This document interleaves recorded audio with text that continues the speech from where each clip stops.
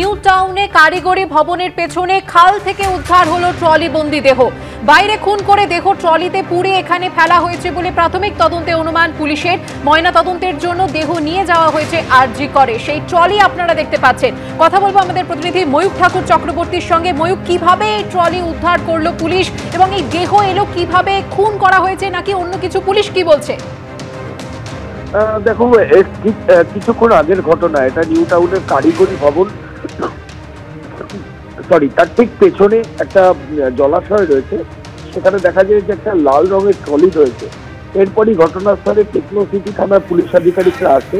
এসে ট্রলিটা খোলে এবং খোলার পর যেটা দেখা যায় যে ওর মধ্যে প্রায় পঞ্চাশ বছর বয়সী একজনের দেহ রয়েছে রক্তাক্ত অবস্থায়।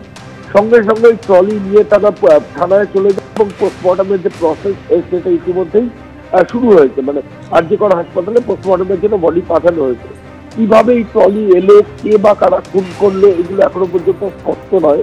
তবে যেটা মনে হচ্ছে যে বাইরে কোথাও ওই ব্যক্তিকে মার্ডার করা হয়েছে এবং তারপর গাড়িতে করে ট্রলি ট্রলির মধ্যে বডি ভরে গাড়িতে করে সেই বডি নিয়ে এসে নির্জন জায়গা দেখে টেকনোসিটি থানা এরিয়ায় এই কারিগরি ভবনের পেছনে এই ট্রলিটা ফেলে দিয়ে গেছে দুষ্কৃতীরা।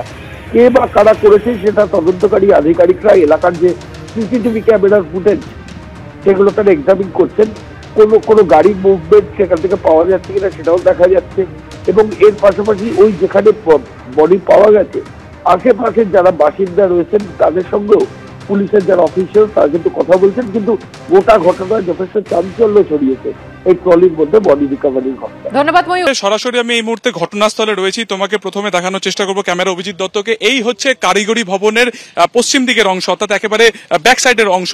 এবং তার ঠিক সামনে যে তুমি নালা দেখতে পাচ্ছ এই নালাতেই এদিন ভোর সাড়ে পাঁচটা নাগাদ যারা সাফাই কর্মী যারা এখানে জঙ্গল কাটাইয়ের কাজে এসেছিলেন তারা দেখতে পান একটি লাল রঙের নতুন ট্রলি ব্যাগে কিন্তু ট্রলি ব্যাগ রয়েছে এবং তাতে তালা বন্ধ অবস্থাতে রয়েছে। তারা বেশ কয়েকজন কর্মীরা ছিলেন। গতকাল রাত অব্দি তারা কাজ করেছেন তারা দেখেননি এখানে ট্রলি ব্যাগ রাত পর্যন্ত।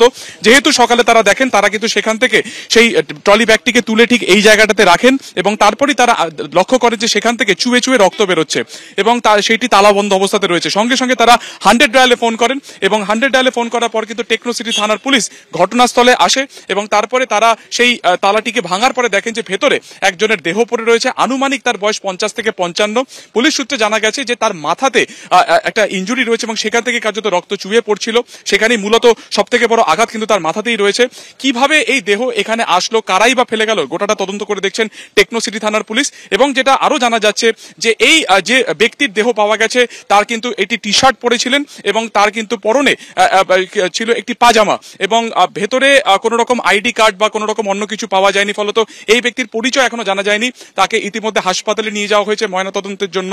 এবং তুমি দেখতে পাচ্ছ এই মুহূর্তে গোটা যে এলাকা, গোটা যে ঘটনাস্থল, পুরোটাই কিন্তু খতিয়ে দেখছে নিউ টাউন থানার পুলিশ, যেখানে নিজে পুলিশের একজন উচ্চপদস্থ আধিকারিক রয়েছেন। আশপাশে কোনো সিসিটিভি ফুটেজ নেই। এবং সব থেকে গুরুত্বপূর্ণ যেটা পুলিশও যেটা মনে করছে যে, যেহেতু এই যে গোটা এরিয়াটা, এখানে কিন্তু রাত হলেই পুরোপুরি অন্ধকার থাকে, কোথাও কোনো পর্যাপ্ত আলো থাকে না। ফলত যারা আততায়ী, যারা খুনি, তারা এক্ষেত্রে কিন্তু দেহ এখানে কার্যত ডাম করার জন্য বা দেহ বা তথ্য প্রমাণ লোপাটের জন্যই তারা কিন্তু এখানে ফেলে গিয়েছে। তুমি আশপাশে এরিয়া স্পষ্টতই বুঝতে পারছ যে, দুপাশে জঙ্গল রয়েছে, একটি নালা রয়েছে আন্ডার কনস্ট্রাকশন বিল্ডিং রয়েছে।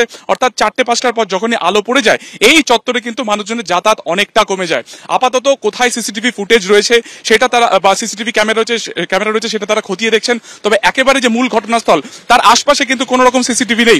ফলত আততায়ীরা আগে কি তারা জায়গাটিকে রেকি করে গেছিল এবং তারপরে কি তারা এখানে বডি ডাম্প করে যায়? তার কারণ নাহলে তারা এখানে ফেলে ফেলে যে গিয়ে সেখানে কিন্তু কোনো সিসিটিভি ক্যামেরা নেই, পর্যাপ্ত আলোও নেই। ফলত সব মিলিয়ে গোটা বিষয়টি নিয়ে এখনও ধন্দ রয়েছে।